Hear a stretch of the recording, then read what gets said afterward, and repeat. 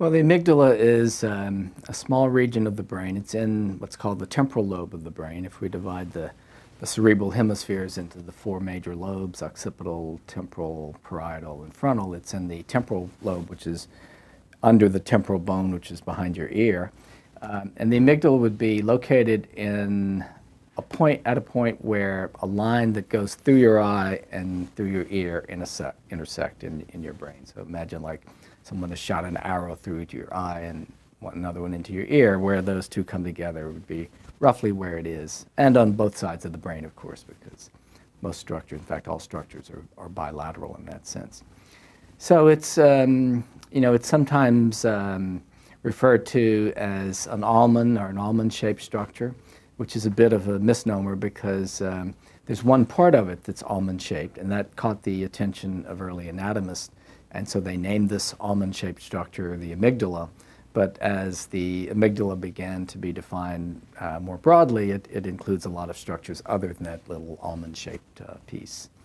Um, it's most commonly associated with fear, although that's not its only function. It's its most uh, heavily studied function. And the reason for that is that uh, it's much easier to study fear than other emotions, uh, things that are are bad have more weight uh, than things that are good in a sense. I mean, you can put off eating, drinking, sex, whatever for uh, an indefinite amount of time, but you have to respond to danger immediately.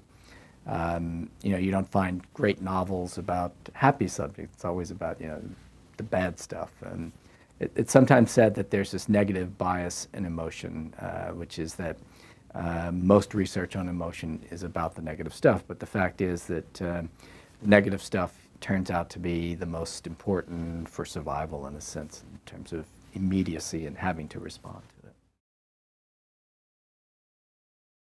So some of the key interconnections of the amygdala, and the, these connections actually define what it does in a sense, at least with respect to fear. The amygdala gets sensory information directly from the various sensory systems that process the external world. So the, the visual system, the auditory system, olfactory, uh, touch, pain, and so forth. All of these kind of come together or converge in the amygdala. And then the amygdala connects on the output side with all the systems involved in emotional reactivity. So uh, when you encounter sudden danger, you might freeze. Uh, your blood pressure and heart rate begin to rise. Stress hormones are released. All these things happen as a result of outputs of the amygdala. So the amygdala you can think of as kind of this, uh, you know, this circle with one input coming in being the, the or the input coming in being a sensory uh, flow of sensory information from the external world, and then outputs being uh, connections to systems involved in controlling the responses.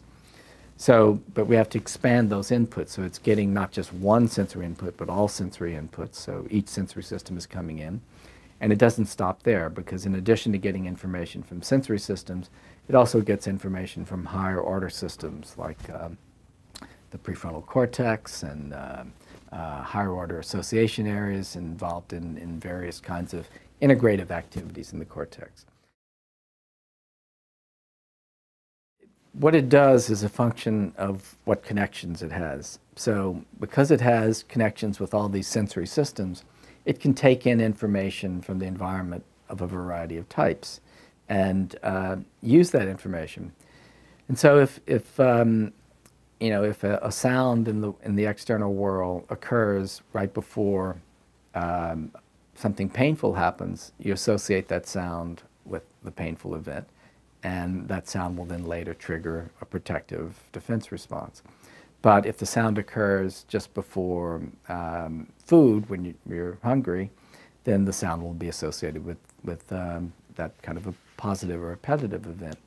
And so what the amygdala is doing is forming associations between random or neutral external stimuli and the kinds of uh, reinforcing events that will stamp in those uh, uh, experiences in a, in a stronger way.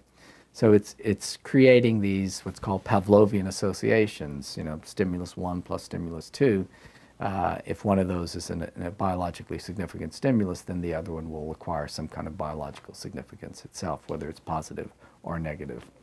Now that information can then be used, and this is sort of what I think you were referring to in terms of adaptive behavior.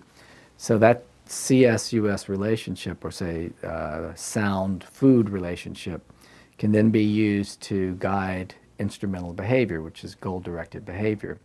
So if in the past you've um, obtained food at a certain location, the stimuli that are proximal to that location serve as conditioned stimuli and you know are reinforcing to you because they're close to the actual goal and they take you towards the goal. Same thing happens with aversive stimuli. The, it's just that it works in the opposite way.